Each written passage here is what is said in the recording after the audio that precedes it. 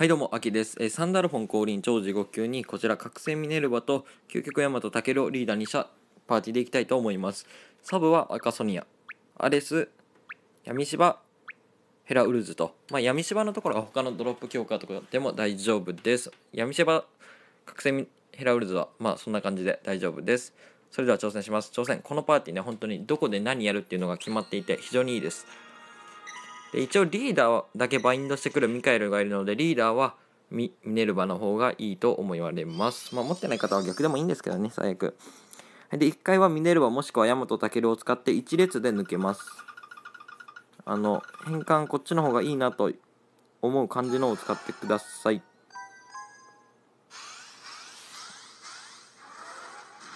はいこれねノンストップで言ってもいいんですけど次何をお邪魔にされるかによってノンストップで行くかどうかを決めます。でもこうやってねお邪魔弾くんで。ちなみに今木を変換されてたらタケルで木を火を作れなかったので一回お邪魔を消していました。はい。でまあこんな感じでいい落としが入った。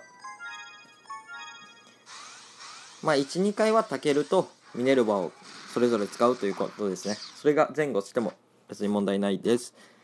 で3回は出たミカエル。ミカエルの60万をねヒダと30万で抜けるのでアレスで抜いていきますと。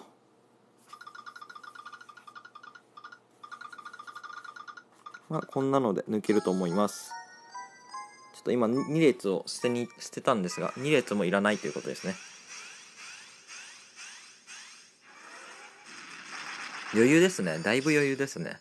ここでガブリエルだったらリーダーだけこっちだけバインドしてくるんでこっちがミネルヴァの方がいいということですね。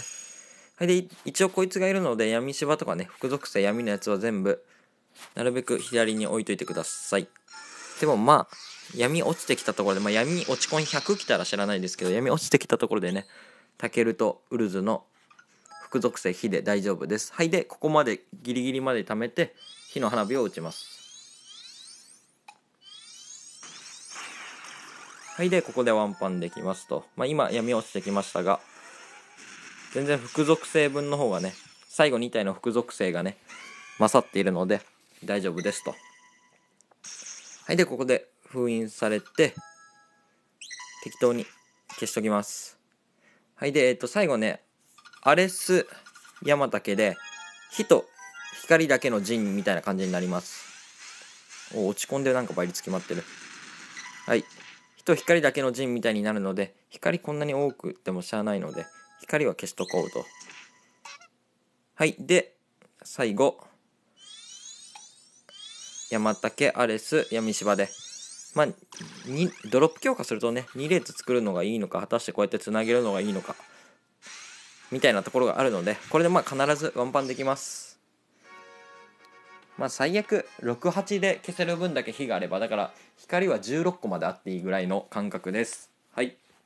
ということでね非常にこのパーティーいいと思うのでぜひぜひ皆さん試してみてはいかがでしょうか。ご視聴ありがとうございました。もしよろしければチャンネル登録の方よろしくお願いいたします。アディオス。